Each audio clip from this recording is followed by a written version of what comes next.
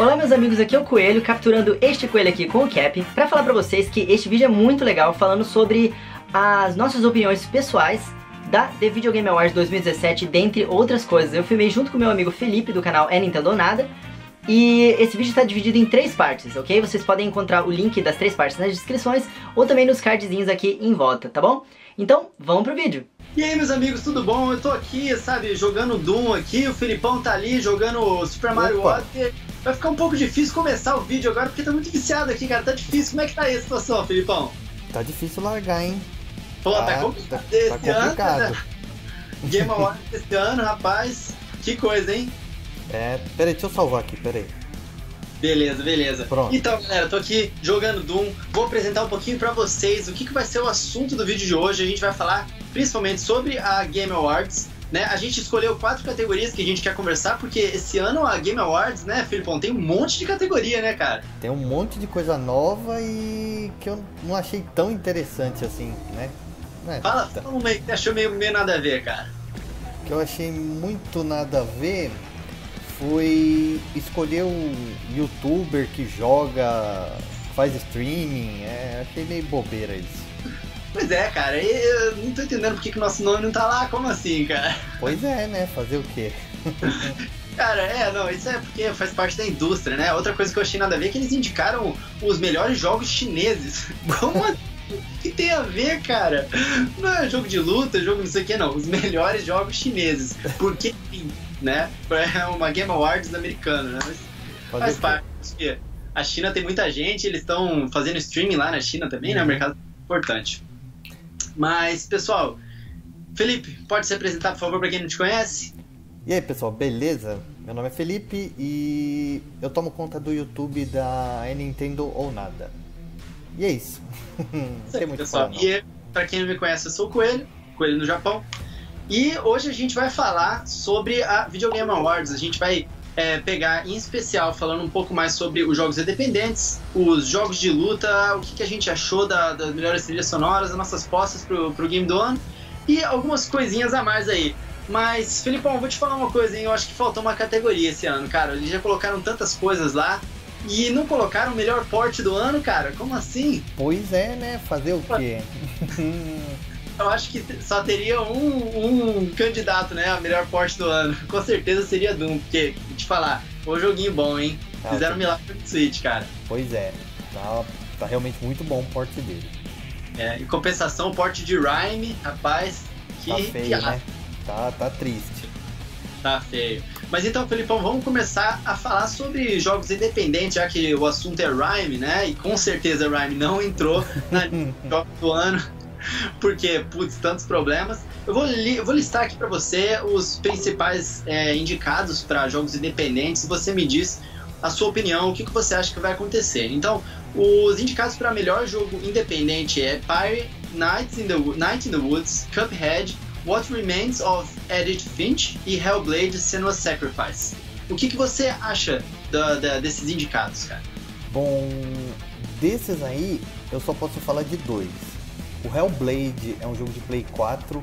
O jogo é lindo, tem uma história razoável. Eu não cheguei a terminar ele por falta de tempo, mas o mais impressionante é que acho que ele é de um estúdio indie e tem característica de um triple A da indústria.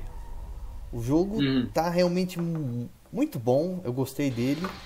Só que para mim, quem vai ganhar o, o prêmio de indie é Cuphead. O Cuphead ele é, ele é bonito de se ver. Ele, ele foi baseado em animações dos anos 30 e 40, né? Acho que até 50. E o jogo é realmente difícil. É muito difícil. Você achou, é? Eu, eu achei bem difícil. Tanto que acho que eu passei só 30% dele, um pouquinho mais, e travei, não consigo mais passar. Você sabe qual que é o maior problema da, da, da, dos fóruns hoje em dia, que é, são os especialistas de YouTube, né? Nesse caso, no Cuphead, o especialista de YouTube aqui, entre nós dois sou eu, porque eu só joguei pelo YouTube e eu não acho tão difícil assim pelo YouTube, cara. Então, eu vou falar umas besteiras aqui, eu não acho que o jogo tá difícil não, cara, com toda a minha experiência assistindo vídeo no YouTube. Olha, é, eu joguei muito contra E posso dizer que tá mais difícil que contra. Olha só, e você colocou um hype em cima, hein? Cara, te falar, Cuphead eu acho que é um, uma. É aquela coisa que os americanos falam, um no-brainer de ganhar os jogos independentes. Sem, dúvida nenhuma foi o jogo que mais fez barulho é, uhum. esse ano. Então, assim, eu concordo com você. Eu acho que Cuphead, muita gente, inclusive, estava achando que ele ia ser um, um dos jogos do ano, né? Como indicado a Game of the Year, de tão incrível que o, que o jogo é e de tanto sucesso que ele fez. Mas eu nunca achei que ele fosse realmente ganhar jogo do ano, só que essa categoria com certeza vai ser de Cuphead. E por conta disso, cara, eu queria comentar sobre uma segunda opção, o que, que eu acho que ganharia se não tivesse o Cuphead aí no meio do caminho. Tudo bem, Hellblade é realmente bastante impressionante, bastante interessante, mas eu acho que o pessoal, quando estiver assistindo a Game Awards esse ano, tem que prestar atenção em Pyre, cara. Pyre, ele é um, RPG, né, de... É, se escreve PYRE, né? É um RPG de, de, de, de grupo, né? E ele é criado pelos criadores de Bastion e Transistor. Então, você sabe que jogos são esses, né? Bastion Transistor e Transistor é muito bom. Não, os jogos são. Os dois são muito excelentes, cara. Os dois têm uma narrativa incrível. Bastion, Bastion ganhou vários prêmios. Aliás, os dois ganharam muitos prêmios, mas Bastion foi extremamente inovador no jeito que ele, ele narrava o jogo, né? A cada ação que você fazia, o narrador conversava com você, totalmente diferente das coisas que a gente já tinha visto. Em, em, narração em games, né? E esse jogo é da mesma, do mesmo estúdio, então ele também tem uma arte fantástica. Eu acho que o pessoal é, tem que prestar atenção nesse, nesse indicado aí a, a, a, game do ano, porque olha, é um joguinho impressionante também, viu? Vamos lá, vamos, vamos falar um pouquinho sobre jogos de luta. Esse ano a gente teve alguns jogos de luta é, bastante legais, mas eu acho que pelo visto não foi muito, muito suficiente, porque eles adicionaram aqui nos jogos de luta um jogo que, cara, sinceramente, eu adoro, mas para ser indicado a, a, jogo do ano, eu já acho zoado, né, cara? Eles anunciaram Nidhogg 2 como um dos indicados a Games do ano. Daqui a pouco eu falo, mas você sabe que, que, daqui a pouco eu falo os outros jogos, mas você conhece Nidhogg, cara? Hum, não tô lembrado qual que é isso. Cara, Nidhogg é um jogo muito legal é, de você jogar o que o pessoal chama de couch multiplayer, né? De você sentar no sofá com um amigo e jogar ali na televisão. É um jogo que ele tem um visual de Atari, são, não é nem 8 bits, né? São uns, uns bonequinhos bem é, feitos. Espadachim? De Espadachim, exatamente. Ah, já sei qual que é. Cara, é, é super maneiro esse jogo, é divertidíssimo. Né? E aí eles anunciaram agora o, o Nidhogg 2, lançaram o Nidhogg 2, e os caras indicaram o Nidhogg 2 como um dos indicados a jogos do ano para jogos de luta, cara. Você acredita nisso? Falta de lado... opção, né? É, cara, faltou opção. Porque colocou ao lado de Tekken 7, colocou ao lado de, de Marvel vs Capcom, né? E eu acho que é o seguinte, certos caras estavam esperando lançar Smash, lançar Smash, a Nintendo não lançou Smash. Caraca, faltou alguma coisa, bota, bota o que sobrou aí. O que, que tem aí? O que, que tem aí pra gente escolher? Ah, tem esse? Bota esse aí mesmo, vai, vai, vai, vai. É, pois é, assim, sem querer menosprezar o jogo, porque realmente é um jogo extremamente uhum. divertido, fora o Nidhogg, mas, cara, colocar ao lado de Tekken 7. Mas vamos lá, vou falar pra você quais são os indicados a jogo do ano. Tekken 7, a jogo de luta do ano. Tekken 7, Nidhogg 2, Marvel vs Capcom Infinite, Injustice 2 e ARMS. Você conhece todos eles? Eu conheço a maioria. O Marvel vs Capcom, eu joguei muito 3, apesar de eu ser horrível em jogo de luta, mas eu gosto. É, o Infinity eu achei muito inferior ao 3. Eles. A modelagem dos personagens, isso aí já foi comentado em, um monte de sites ficou bem mais ou menos, bem meia boca. Eu não gostei da mecânica, o Injustice eu joguei só o primeiro, o 2 eu não comprei, mas não é um jogo ruim, eu acho que ele está bem melhor que o primeiro. O ARMS eu não consegui pegar ainda por causa do preço, mas uhum. quero pegar. Dentre esses, é... eu acho que eu votaria no ARMS. Porque. É que eu não joguei. mas eu votaria no ARMS porque é, ele é diferente. Ele tem um, um jeito diferente. E para mim, isso meio que já basta. Porque os outros são mais do mesmo. O Need Hockey que você falou também é bem diferente. Ele é. São é. Do, dois bonequinhos de palito lutando, se matando. Aí quem matar o oponente tem que correr pro lado contrário, não é um negócio assim? É, o primeiro Need Hockey é assim mesmo. Então. parecido. Eu voto no Arms por. Mesmo não ter jogado ainda, eu acho que ele merece sim. Ele tá recebendo lutadores novos, arenas novas, né? E tudo de graça. É. É, não, definitivamente a Nintendo é, tá dando uma vida muito legal pro ARMS, né? Tá, a comunidade de ARMS, para quem não acompanha, tá sempre com coisa para discutir, porque eles anunciaram essas coisas, essa, essas badges novas, né, para você, é, é, como achievements, né, para você conseguir é, desbloquear os desafios. Eles anunciam é, personagens novos que mudam, mudam totalmente o metagame do, do jogo. Então, assim, realmente a ARMS está com uma, uma vida muito interessante mesmo depois do lançamento, porque ele foi ofuscado pelo lançamento de Splatoon 2, uhum. né?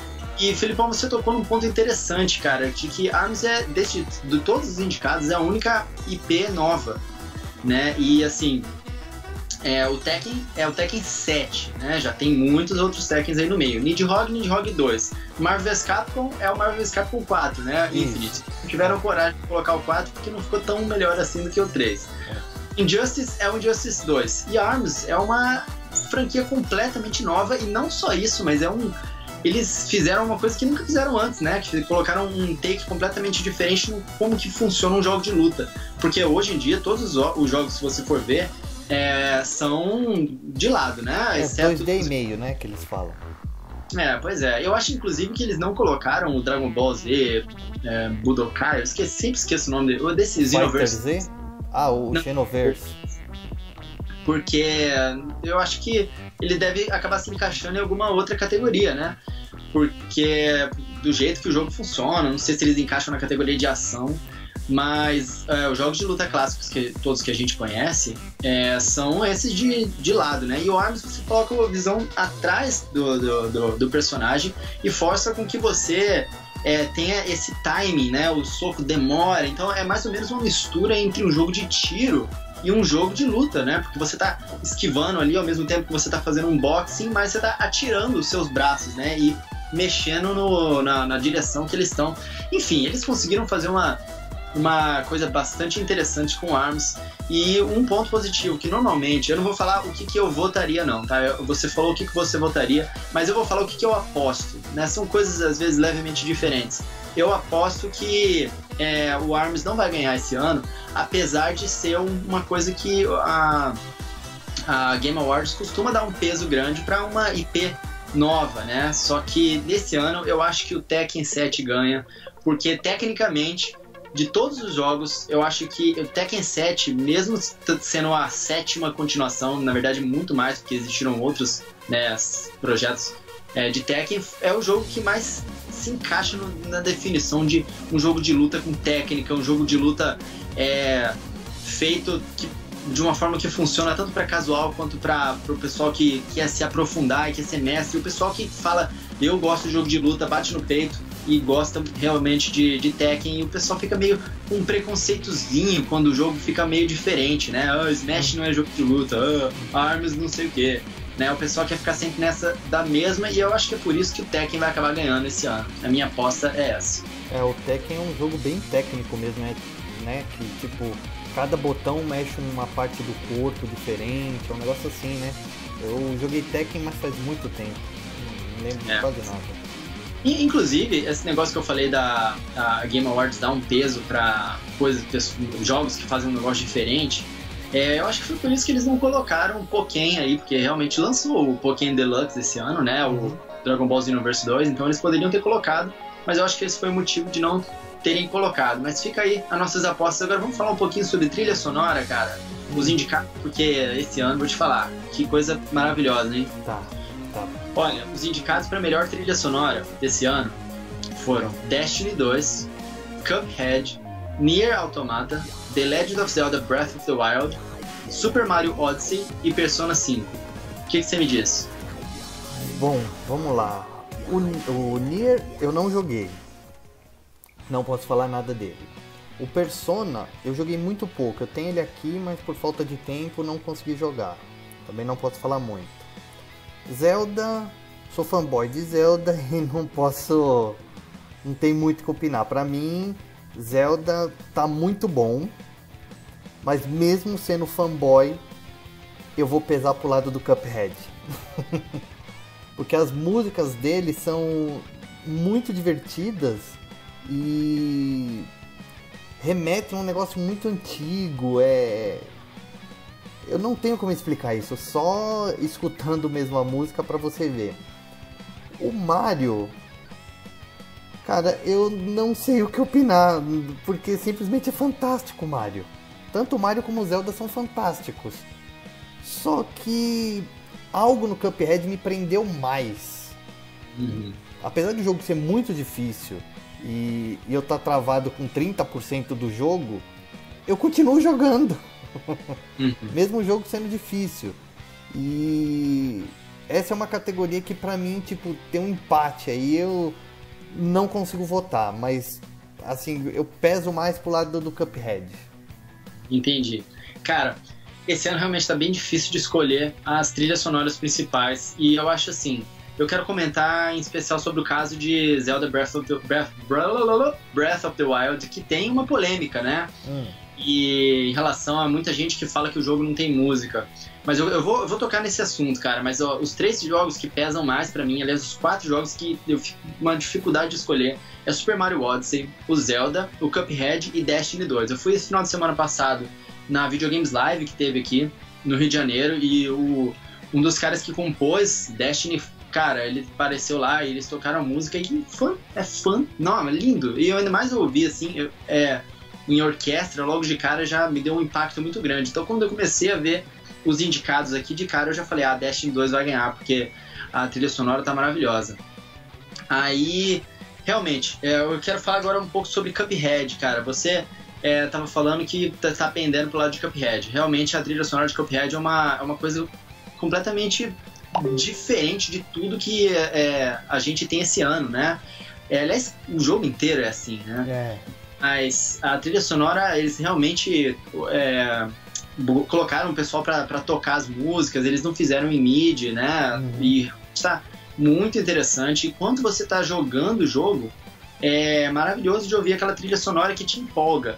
Mas no caso do Cuphead, eu acredito que para mim eu, ele não ganharia por causa de uma outra parte, uma contraparte ali. Que se você tirar aquela música do contexto do jogo, aquele contexto frenético da correria que você está imerso naquele mundo, a música fica um pouco eu não quero dizer irritante, mas é isso que eu sinto um pouco, porque eu gosto muito de ouvir trilha sonora de games para trabalhar.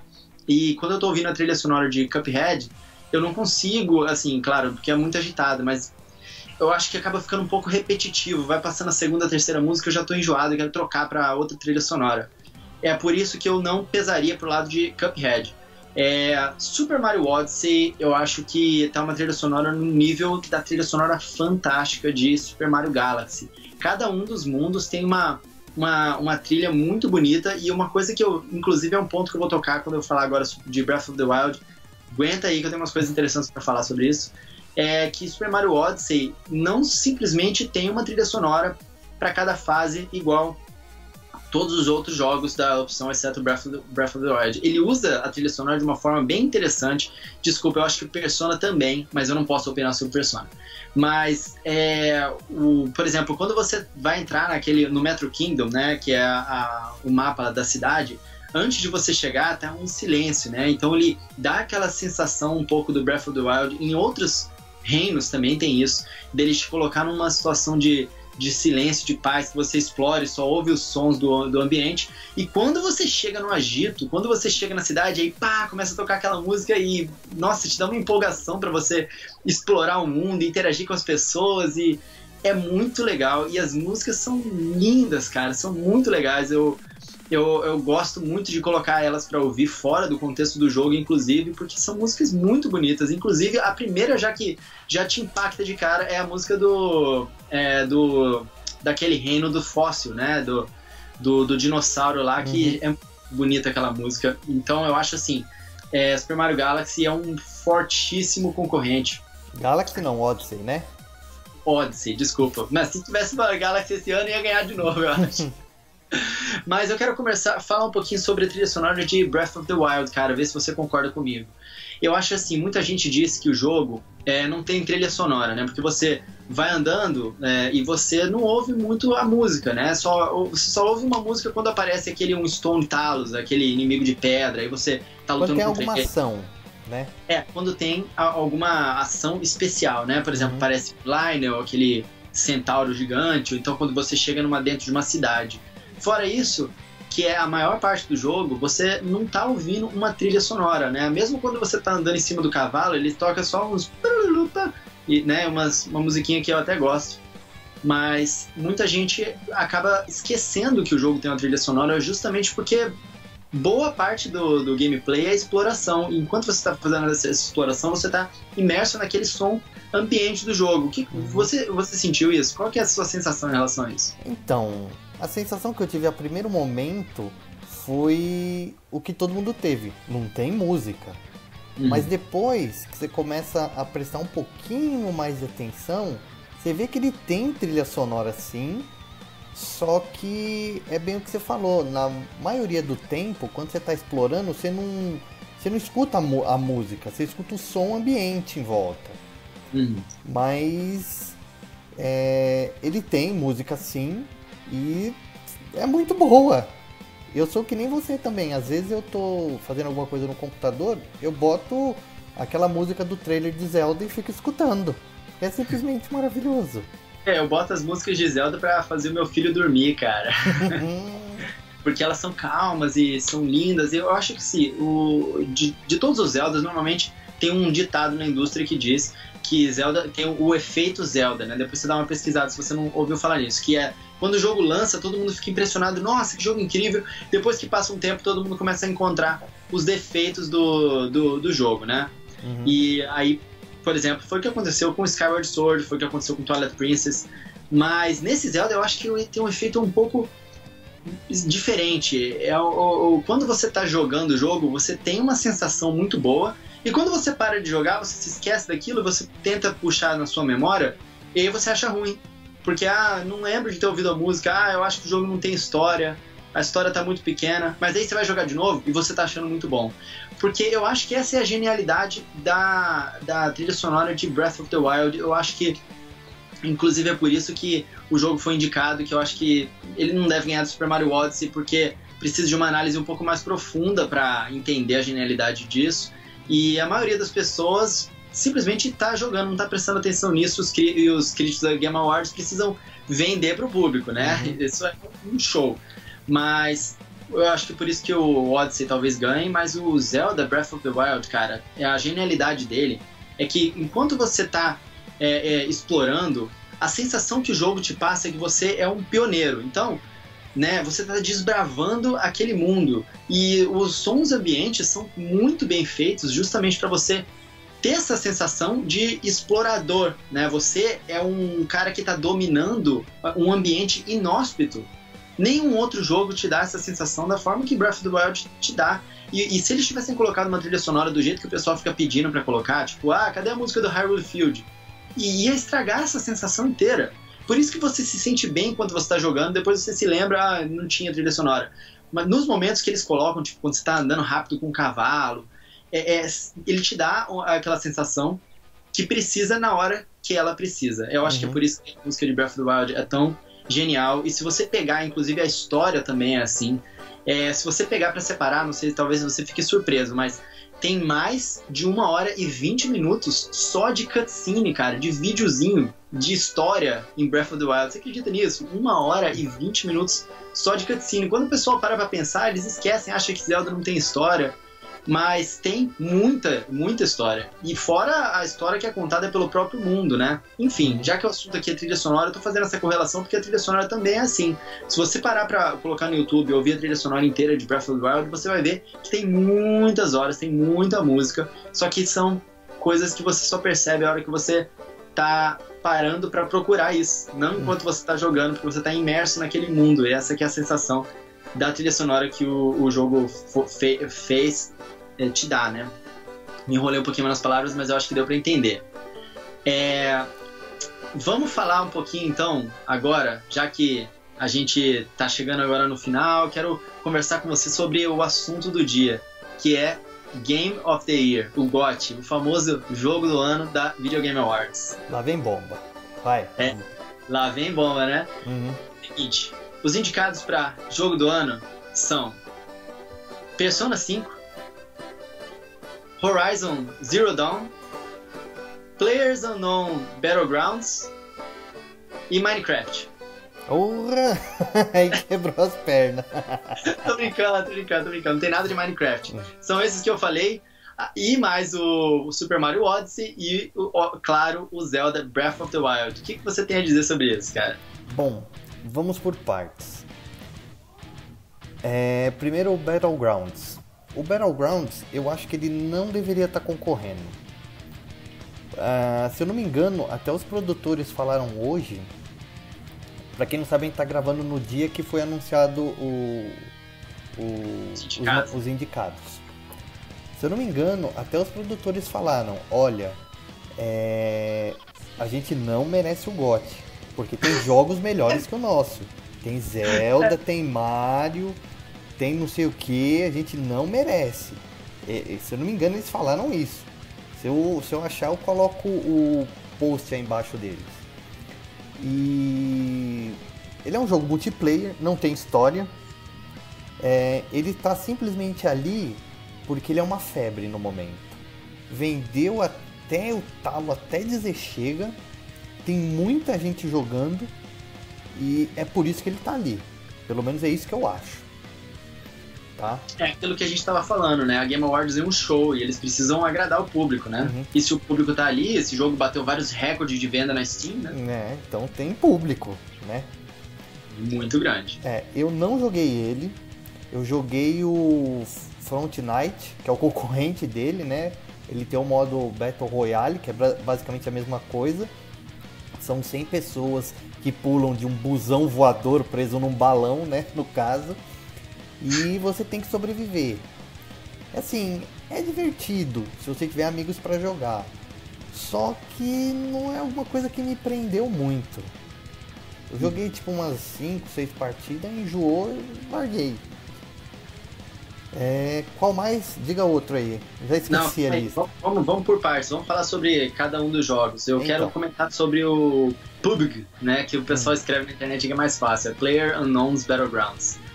Cara, é o seguinte. Eu, eu também acho que o jogo não devia estar tá na, na, na premiação, mas não é por causa de falta de mérito do jogo, não. É, o jogo realmente tem muitos méritos, é um jogo muito divertido e que, cara, é inegável que as pessoas gostam do jogo. Então, assim, é, ele tem muitos méritos, esse jogo é muito legal. Só que é um jogo que ainda não foi lançado. É um tá jogo. Em beta. Em, é, em Early Access, né? Em acesso uhum. antecipado lá na Steam, em beta. E eu acho que um jogo antes dele ser lançado, ele não pode ser indicado ser jogo do ano, né? É, é simplesmente uma coisa, uma questão de critério. Não é por falta de mérito, não. Eu acho que simplesmente é, o jogo precisa, tem muitas coisas que não estão polidas no jogo ainda, que você vê que são né, inacabadas. E por isso que eu acho que não devia estar, porque é muito difícil ele ganhar. Se ele ganhar, vai ser por popularidade e não por uma coisa, sabe, de. Mérito de dele todos os quesitos do jogo. Por isso eu, acho, eu acharia uma pena ele estar tá tomando lugar de tantos outros jogos incríveis como Nioh, que podia estar tá aí, sabe? Nioh, não, não Nioh. É, é o jeito que eu falo, deve falar errado. Mas é por causa disso, né? Agora, vamos conversar então sobre cada um deles. Eu queria sua opinião sobre o Horizon Zero Dawn.